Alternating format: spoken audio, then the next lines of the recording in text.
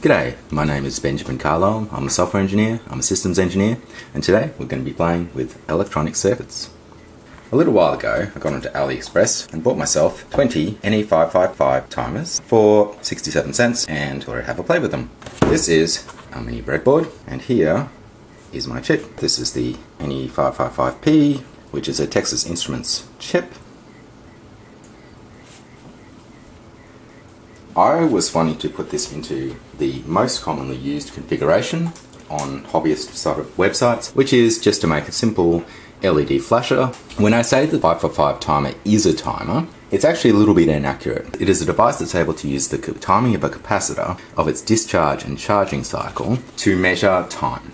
So there are two very common uses for this device. One is to wait for an event coming in and then wait a short amount of time after that event has occurred before it produces its own output. So it's often used in locking devices or various other things that need an event to occur, some time to have pass, and then for another event to be triggered. It can be used in that mode or it can be used in this mode that we are going to use today, which is flashing just on its own or triggering itself to have an event. And we're going to be following the circuit diagram from the relevant data sheet and it's described as astable operation. So we're going to be doing an astable operation circuit. So what we have on this circuit is the chip for the most part. We've got a few resistors and we've got the capacitor. The main working component is this capacitor right here, which is connected to ground and this trigger and threshold. What we've got is these two resistors here, resistor A and resistor B, and the capacitor work together to determine the timing of the circuit. When the capacitor is filling up, the electrical conductivity needs to pass through RA and RB in order to fill the capacitor. And in order to discharge, it will go through this resistor B. And so the combination of resistor A, resistor B, and capacitor values will determine the actual timing of the device. There's a little bit more to the circuit. There's a capacitor up here which just attaches from VCC to ground and that just gives it some extra timing stability. We've got an open connection on pin 5 and we need to pull the reset pin high to avoid it resetting when we don't want it to and we need ground and power for the device. Here we have the actual load so we're going to use our LED with a current limiting resistor and we're going to take the output of the device, we're going to take an output of the NE555 and we're going to take that to VCC in order to power the load. So this is a nice simple circuit and we've got a nice simple breadboard. So the first thing we really need to have is the actual timing capacitor in this case. So we'll attach this timing capacitor to the earth. We know earth is going to be on pin 1 because that is the ground pin of the chip. So another thing we know is that pin 4, which is the reset pin, is going to be up VCC. Pin 3 is our output pin. So what we'll do is we'll connect the output as if it is the ground to a resistor. That will bridge across into a separate part of this breadboard. I'm sure I'll get this wrong. And I'll just connect that back to pin 4, which we know we're going to be pulling high up to VCC. So that is the load component, and you can replace this load component with any load you see fit to use. The next thing we might do is start to fit the uh, resistors that control the rate at which the capacitor charges and discharges. So the style of a variable resistor that I've picked out is just this 3 pin type resistor. I'm using a 50 kilo ohm uh, resistor maximum. Those are going to become resistor A and resistor B in our circuit.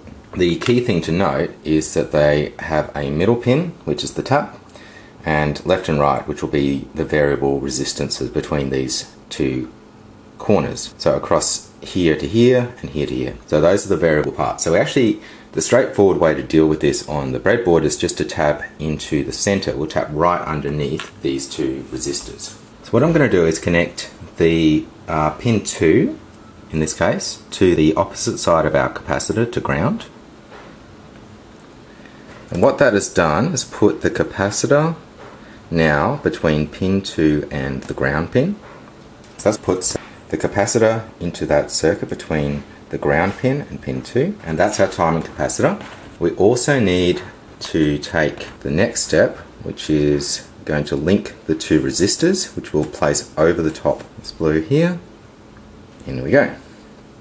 So we'll place one resistor here over the top of this tap here. So that resistor now will connect its center tap on this capacitor. So that is our resistor B. So if we take this diagram here, we're connecting the point which is connected to pin 2 and the capacitor to this variable resistor. Now the next point we need is resistor A, so we'll pop that in next to it. And again, we're going to use the center tap on that to be the point at which that blue wire connects.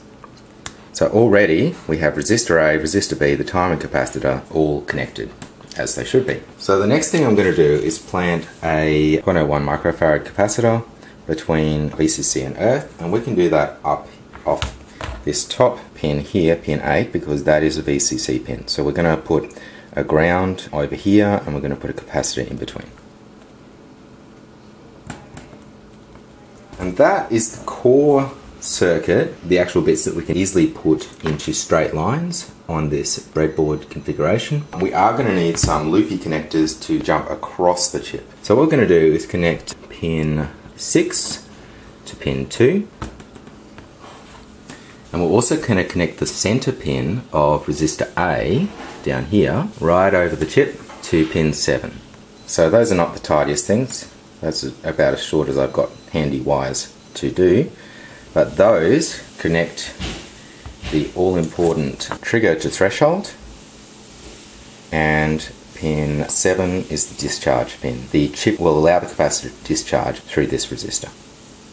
The Next part is just connecting VCC and ground. So obviously we're going to need to have VCC on this reset pin that we already noted was something we needed to connect for our load. Uh, we can connect it either here at the pin itself or here where we've jumped across. So I'll just do it there. The next place we want VCC is obviously the VCC pin of the chip, pin 8, which is also where we have this earth to VCC stability capacitor here. We need a third VCC connector to this left. So those are our three VCC connectors, but we also need two earth connectors just down to the earth pin here, which is pin 1 in here. And the last place we need an earth is on this stability capacitor. So there are a few little dangly bits that we have to deal with, but that is the circuit. I'm using 5 volts here. A variety of voltages will work fine. Just be aware of the resistor value on your LED. I am using a 270 ohm resistor on my LED, which I find is enough, so I just use it without doing too much thinking and calculation. And if we now power this up, what do we see? But a flashing LED.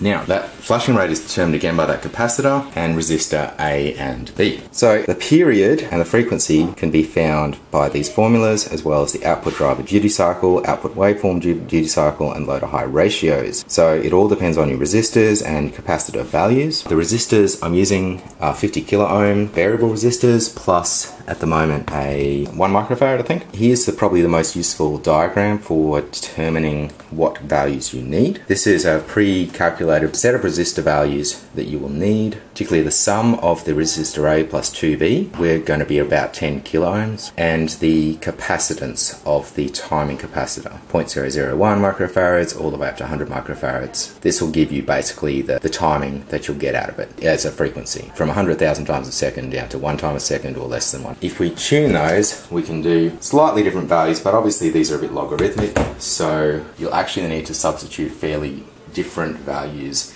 if you want the rate to be quite different. But let's do some basic tuning. Let's tune this resistor A. Hopefully you can see some differences in the timing there. I think it's slowing down there. And this is resistor B you can see that this is quite a lot faster than this and so you can tune these things to be specific values and you can pre-select resistor values that are appropriate as long as you match that up to the right capacitance. And that is how you build a very simple LED flashing circuit. The short answer is refer to the data sheet. Thanks everyone.